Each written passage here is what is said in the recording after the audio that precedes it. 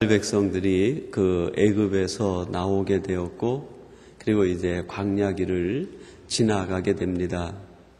아, 그 출애굽의 여정이 우리 인생의 여정과 같고 또 우리 신앙적인 측면에서 한 사람이 하나님을 만나고 예수님을 믿어 새 사람이 되어 성화되어 가는 과정과 같다. 그런 어, 말씀을 드렸습니다. 그리고 이스라엘 백성들이 애굽에 나와서 2년 남짓 시간을 보내면서 한 일은 광야에다 회막을 짓는 일이었습니다. 성막을 짓고 그 성막을 하나님 앞에 봉헌하게 되었을 때 하나님으로부터 어, 음성이 들려오게 되었습니다. 하나님께서 이제 메시지를 들려주신 것이죠. 어, 어제는 그 내용의 말씀을 갖고서 우리가 그렇게 묵상을 했습니다. 하나님을 우리 전략의 중심에 넣으라. 하나님을 우리 삶의 전략의 중심에 넣을 때 우리는 이 광야 생활을 승리롭게 살아갈 수 있고 우리가 만나는 모든 일에서 하나님의 은혜와 은총 가운데 거할 수 있다 하는 말씀의 내용이었습니다. 하나님을 우리 전략의 중심에 넣는다는 것은 하나님 우선순위를 얘기합니다. 내 생각을 내려놓고 하나님을 언제나 우선순위에 두는 삶이죠. 하나님을 우선순위에 두게 되면 우리의 삶의 모든 것들이 질서가 생기게 됩니다. 사실 우리 인생의 많은 문제는 우선순위의 문제에서 비롯되는 것들이 얼마나 많이 있습니까? 네, 하나님을 우선순위에 둘 때 세상의 일들이 질서가 잡히고 정리가 되는 것이죠. 하나님을 우리 전략의 중심에 넣는다는 것은 우리 생각의 모든 것의 지배를 받는다는 의미가 있습니다. 하나님의 명령이 절대적인 중심에 선다는 것이죠. 우리들이 이 땅을 살아갈 때 늘 갈등을 일으키고 있는 것 중에 하나가 하나님께서 들려주시는 말씀과 우리가 가지고 있는 생각, 우리의 경험과의 충돌 아닙니까? 그것을 조금 다른 말로 얘기한다고 하면 신앙과 이성의 충돌이라고 할 수 있습니다. 하나님은 우리에게 신앙적으로 대치하라 그렇게 말씀하십니다. 그런데 우리 생각은 어떻게 우리들에게 얘기합니까? 어떻게 그렇게 할 수 있느냐? 이성적으로 대치해야 되는 것 아니냐. 합리적으로 대치해야 되고 논리적으로 대치해야 되는 것이 아니냐. 세상은 논리적으로 합리적으로 이성적으로 살아갈 수 있을지 모르겠어요. 그러나 영적으로 산다는 것은 결코 그 차원에 머물러서는 안 되고 신앙적인 생각과 결단이 있어야 된다는 것이죠. 때때로 신앙적인 결단과 신앙적인 삶을 살아가는 것이 이성적인 관점에서 보면 어리숙해 보이고 무엇인가 실패하는 것 같고 무엇인가 다른 사람과 비교해 볼 때 뒤떨어지는 것 같습니다. 그러나 지나고 나면 신앙적으로 사는 것이 빠른 길이고 신앙적으로 사는 것이 결국 후회 없이 살아가는 방법이 된다는 것이죠. 그래서 어제는 저희들이 이런 말씀을 1절 어, 말씀을 중심으로 해서 회막에서 들린 하나님의 음성을 그렇게 풀어서 함께 말씀을 나누었습니다. 어, 하나님은 신의 산에서 말씀하시다가 이제는 회막이 봉헌되면서 회막에서 말씀하시고 신약에서는 우리 성도들을 가리켜 하나님의 성령이 거하는 전이다 그랬습니다. 즉, 우리 마음 깊은 곳에서 하나님의 감동으로 우리에게 말씀하시죠. 여러분들이 이제 하나님의 성소에서 말씀을 듣는 중에 또 여러분들이 말씀을 묵상하는 중에 여러분 마음에 하나님이 들려주시는 음성에 따라 그 말씀을 여러분 전략의 중심에 두시고 우선순위로 삼으시고 우리가 가지고 있는 이성적인 생각이 신앙적인 삶의 지배를 받으므로 여러분의 삶이 승리롭게 이어지시고 하나님의 전략을 따라 살아가시는 성도님들이 되시기를 주님의 이름으로 축원합니다. 지금까지가 어제 말씀드린 말씀 내용의 아, 개요라고 할 수 있겠어요. 그러면 조금 더 구체적으로 하나님을 우리 전략의 중심에 둔다는 것은 무엇일까? 하나님을 우리 삶의 전략의 중심에 둔다는 것. 가장 결정적인 전략이 무엇일까? 오늘 말씀해 보니까 하나님이 한 가지를 우리에게 제안하십니다. 하나님의 전략은 희생을 감수하라는 것입니다. 하나님의 전략이 아주 단순하면서도 이 전략 속에 하나님의 나라 완성과 하나님이 택한 백성들이 승리할 수 있는 비결이 거기에 담겨 있다는 것입니다. 희생을 감수하라는 것이죠. 여러분 우리 2절 말씀을 같이 한번 봉독하겠습니다. 우리 2절을 같이 한번 보십시다. 너희는 이스라엘 자손의 모든 회중 각 남자의 수를 그들의 가족과 종족을 따라 그 명수대로 계수할지니 아멘.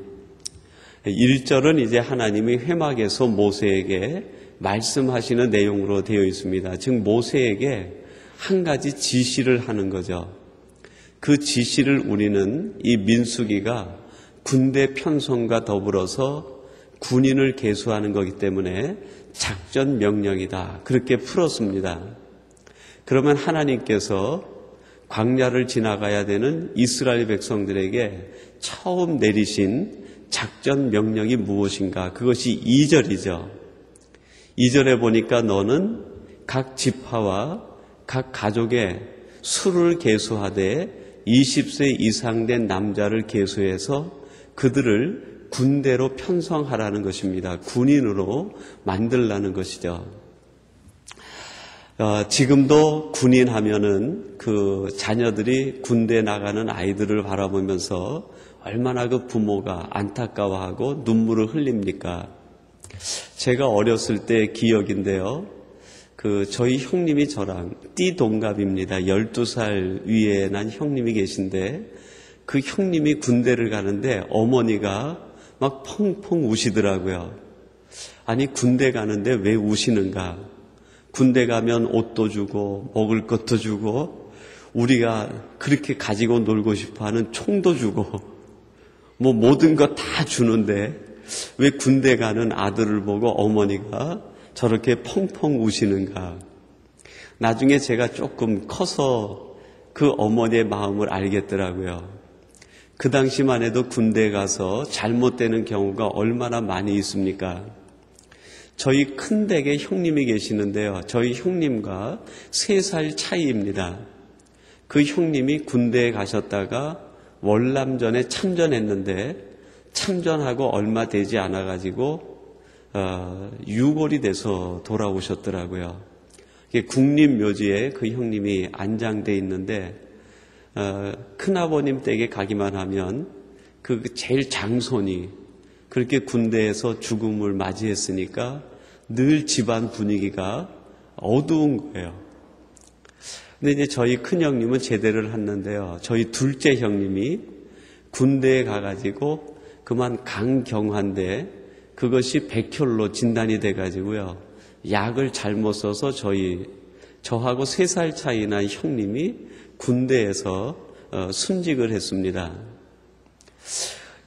오늘 같은 이 시대에도 이렇게 군대라는 곳이 생과 사가 어, 갈라지는 곳이 군대라고 할 수 있는데요. 이 이스라엘 백성들이 가난을 지날 때 군대로 편성된다는 것은 죽음을 상징하는 것이죠. 근데 그런 군인들을 모집하는데 가족대로 종족별로 20세 이상 되는 남자들을 전부 개수하라는 것입니다. 지금은 그래도 우리 시대가 민주주의 시대가 되지 않았습니까? 우리 과거 사회가 발전해 나가는 것을 보면은 노예 사회에서 어, 봉건 사회로 나가기 전에 시족 사회를 거치게 됩니다. 그 씨가 힘이 된다는 거죠. 그 씨가 재산이라는 것입니다. 그 씨가 뭡니까? 그 가족이고 가족 중에서도 건강한 장정들, 남자가 곧그 씨족의 씨에 해당하는 것이고 힘에 해당하는 것 아니겠습니까?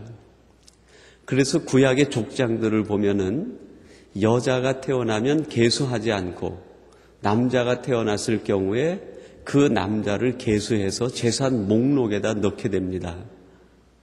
남자 장정은 곧 재산을 의미하고 힘을 상징합니다.